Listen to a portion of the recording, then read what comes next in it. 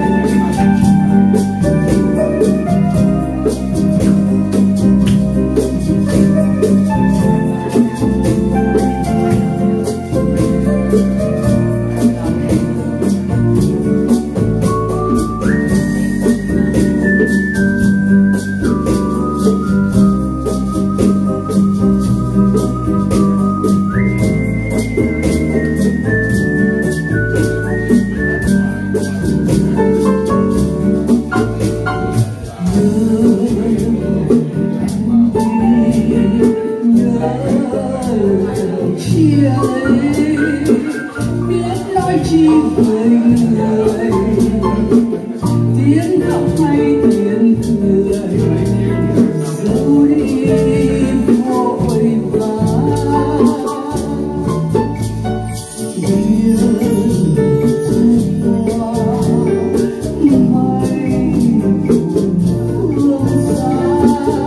Có lẽ em bây giờ